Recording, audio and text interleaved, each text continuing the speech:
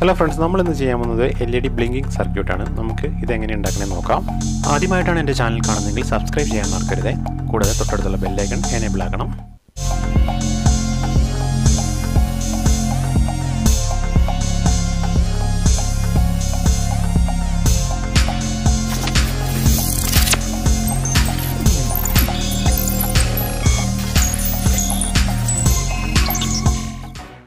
അപ്പോൾ നാൽപ്പത്തേഴ് മൈക്രോഫാരിന്റെ അറുപത്തിയൊന്ന് വോൾട്ടിൽ രണ്ട് കപ്പാസിറ്റർ വേണം.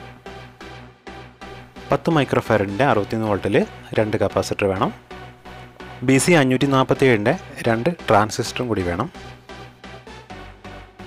കളർ എൽ ഇ ഡി വേണം. ഞാനിവിടെ ഗ്രീൻ കളറിൽ രണ്ട് എൽ ഇ ഡി എടുത്തിട്ടുണ്ട്. കൂടാതെ യെല്ലോ കളറിൽ രണ്ട് എൽ ഇ ഡി എടുത്തിട്ടുണ്ട്. അൻപത്താറ് കെയുടെ ക്വാർട്ടർ വാട്ട് റെസ്റ്റർ രണ്ടെണ്ണം വേണം. പിന്നെ വേണ്ടത് നയൻ വോൾട്ട് ബാറ്ററിയും ഒരു കണക്ടറുമാണ് ബി സി അഞ്ഞൂറ്റി നാൽപ്പത്തേഴ് ട്രാൻസിസ്റ്ററിന്റെ എമിറ്റർ കാലുകൾ തമ്മിൽ നമുക്ക് സോൾഡർ ചെയ്ത് പിടിപ്പിക്കാം. ഇത് നെഗറ്റീവ് കണക്ഷനാണ് വരുന്നത്. ബാറ്ററിന്ന് കൊടുക്കാനുള്ള നെഗറ്റീവ് കണക്ഷനാണ്. എമിറ്റർ കളക്ഷൻ ഒന്നാമത്തതും ബേസ് കണക്ഷൻ രണ്ടാമത്തതും കളക്ടർ കണക്ഷൻ മൂന്നാമത്തതുമാണ്. എമിറ്റർ നീഡിലുകൾ നമുക്ക് മടക്കി വയ്ക്കാം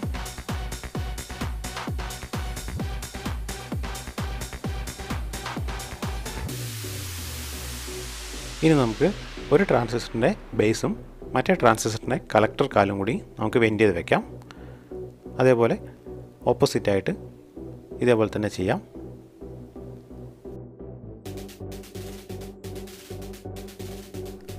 പത്ത് മൈക്രോഫയറിന്റെ കപ്പാസിറ്റർ നമുക്ക് പോസിറ്റീവ് ഭാഗം ട്രാൻസിസ്റ്ററിന്റെ കളക്ടറിലേക്കും നെഗറ്റീവ് ഭാഗം ട്രാൻസിസ്റ്ററിന്റെ ബേസിലേക്കും കൊടുക്കാം. ഇതേപോലെ തന്നെ രണ്ട് കപ്പാസിറ്ററും കൊടുക്കാം. എൽ ഇ ഡി ബ്ലിങ്കിങ്ങിന് ആവശ്യമായ വോൾട്ടേജ് ഈ കപ്പാസിറ്റർ വഴിയാണ് കിട്ടുന്നത്.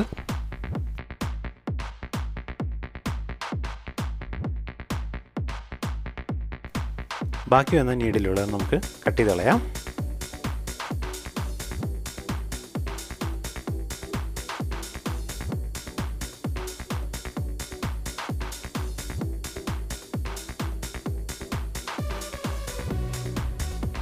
ഇനി കളർ എൽ ഇ ഡി രണ്ടെണ്ണം സെപ്പറേറ്റ് ആയിട്ട് സീരിയൽ ചെയ്യാം.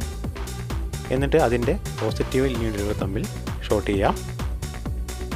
ഈ ഭാഗം നമ്മൾ പോസിറ്റീവ് വോൾട്ടേജ് കൊടുക്കാനുള്ളതാണ്. എൽ ഇ ഡിയുടെ നെഗറ്റീവ് ഭാഗം വരുന്നത് ട്രാൻസിസ്റ്ററിന്റെ രണ്ട് കളക്ടറിലും കൊടുക്കുക. പോസിറ്റീവ് ഭാഗം നമുക്ക് വോൾട്ടേജ് കൊടുക്കാൻ വേണ്ടി ഉപയോഗിക്കുന്നതാണ്. പോസിറ്റീവ് വോൾട്ടേജ് ട്രാൻസിസ്റ്ററിന്റെ ബേസ് ബയാസിങ്ങിന് വേണ്ടിയിട്ട് അമ്പത്താറ് കെയുടെ റെസിസ്റ്റർ നമുക്ക് പോസിറ്റീവ് വോൾട്ടേജ് കൊടുക്കാം. ബേസിലേക്ക് നമുക്ക് കൊടുക്കാം. അപ്പോൾ എൽ ഇ ഡിയുടെ പോസിറ്റീവ് വോൾട്ടേജ് കണക്ഷൻ കൊടുക്കാൻ ഉപയോഗിച്ച ആ ഭാഗത്തു നിന്നാണ് നമ്മൾ കൊടുക്കുന്നത്.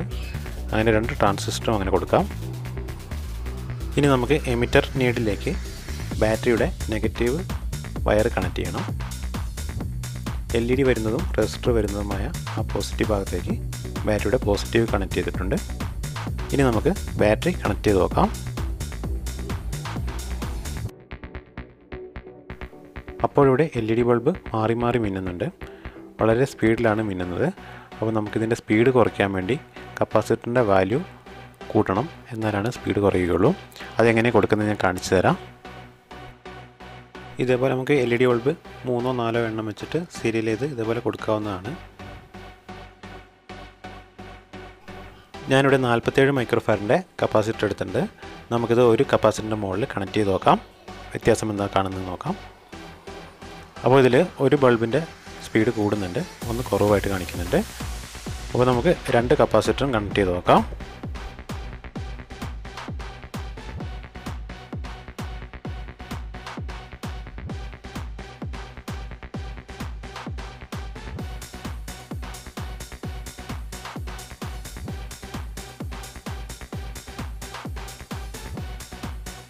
അപ്പോൾ നമുക്ക് ബാറ്ററി കണക്ട് ചെയ്ത് നോക്കാം.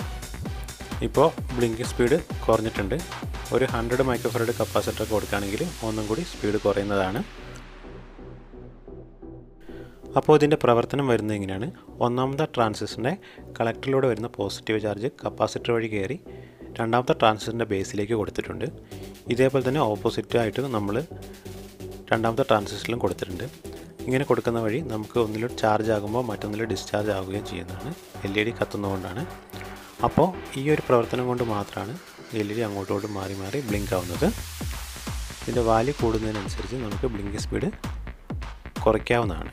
അത് നമ്മൾ ഒന്ന് ഷോർട്ട് ചെയ്താലും അത് ബ്ലിങ്ക് സ്പീഡ് കൂടി അങ്ങനെ വർക്ക് ചെയ്യുന്നതാണ് നമ്മളിപ്പോൾ കാണുന്നത്.